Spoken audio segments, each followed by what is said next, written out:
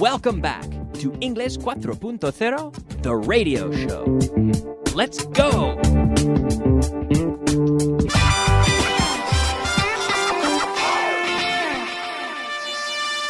Advanced. All right, welcome back to the program. Here we are in the advanced portion now for all you advanced students, advanced class 5.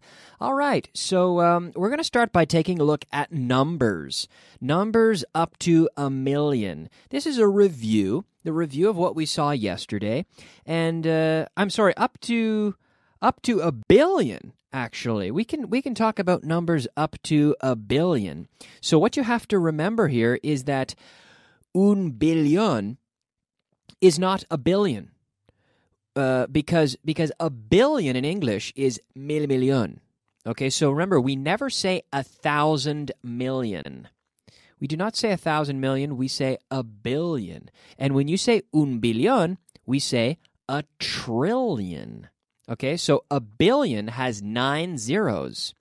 And a million, of course, just like Spanish, un millón, has six zeros. Okay, a few rules here for numbers in case you missed yesterday's program. We don't put an S on million, billion, trillion, thousand, or hundred. except for when we say there are millions and millions of people for example, hay millones y millones de, de gente. But in English, we don't say, we can't say two millions. No, we'd say two million, okay? But I'm sure you know that. Another thing, of course, remember when you're writing the numbers to use a comma, not a point, to separate the numbers, okay? And uh, we always say the word and after hundred. So we have hundred and, one hundred and, 23, 256, 567, for example.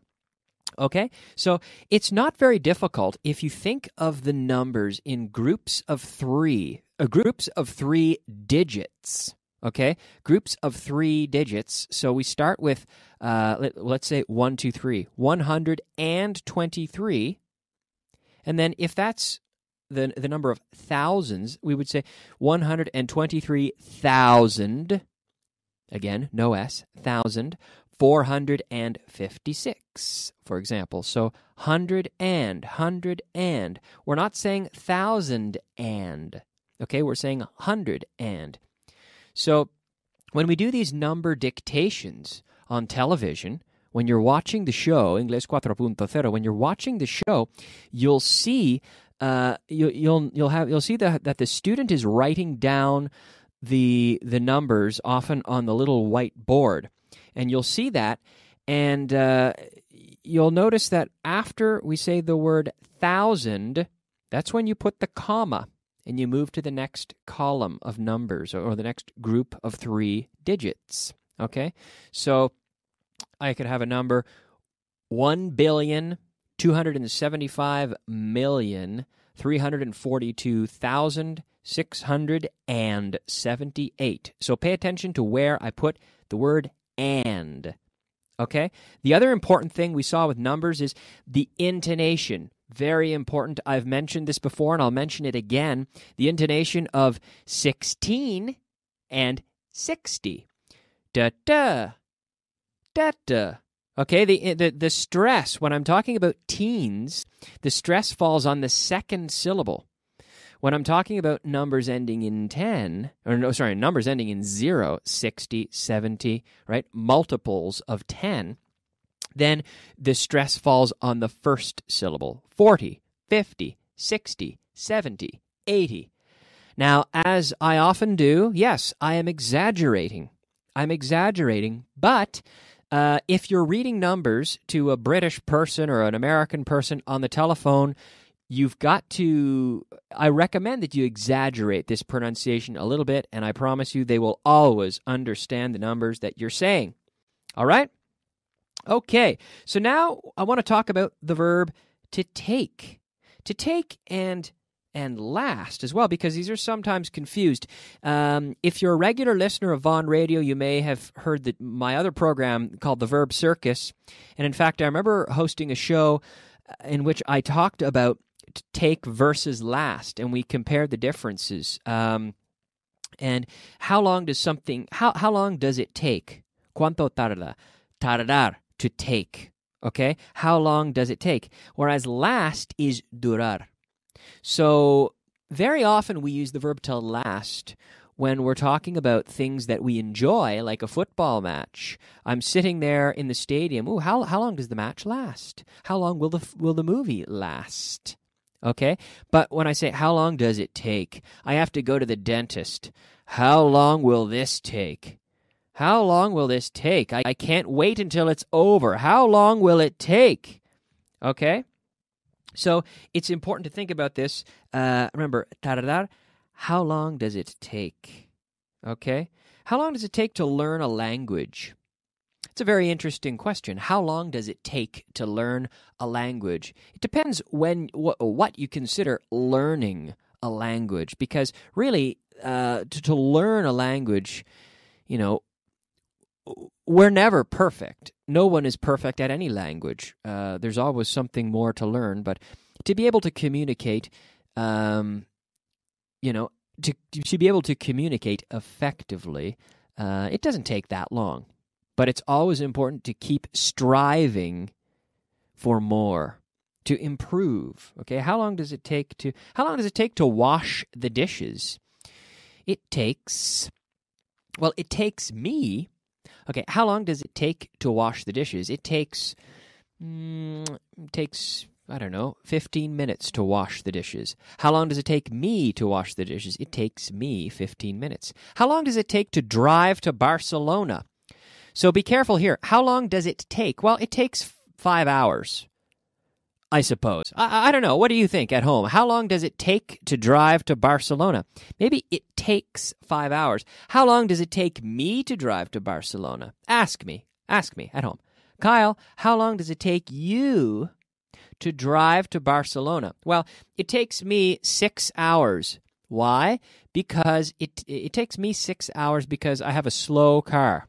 Okay, my car doesn't go very fast. How long does it take? It takes five hours. How long does it take me? It takes me six hours. So when we say how long does it take, we're speak we're saying you know in general. How long does it take most people to do something? All right. Expression of the day.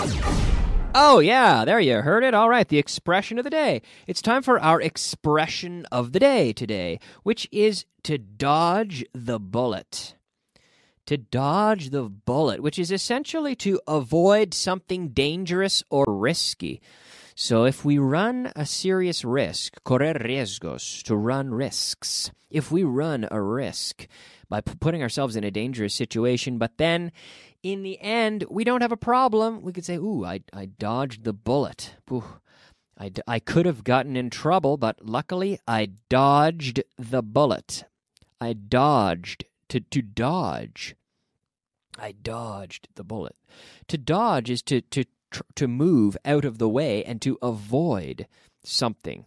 So if uh, in, in football, when a defender is running towards the player with the ball, the player with the ball will often try to dodge out of the way of the tackler of the of the defender okay? So to dodge the bullet. Imagine someone shoots a gun there's a bullet coming and i move out of the way. I've just dodged the bullet we take this and we form this expression to dodge the bullet to avoid a potentially disastrous situation to dodge the bullet that's our expression of the day all right moving along here we are Class 5, ladies and gentlemen, class 5. We're talking about the verb to take again. A little a little not not a review now. We're we're moving ahead with the idea of the future. How long will it take? How long will it take you to finish this course? How long will it take you to finish this course? How long will it take me to finish this show? Ask me. Ask me that question. Kyle, how long will it take you to finish this show? Well, it will take me not very long. It will only take me about 10 more minutes to finish this show. How long does it take me to finish the show? Well, it takes me an hour to finish the show. It takes me an hour to, to, to do the show, to record the show. It will take me 10 more minutes to finish the show. Okay? Now, if I leave Madrid at 6 and I think I can arrive in Barcelona at uh, 11, how long will it take? How long will it take? Say this out loud. It will take five hours. 6 to 11. It will take five hours. But in my car, you know that I know that my car is a little bit slow. So if I leave at 6, according to what I said before, what time will I arrive in Barcelona?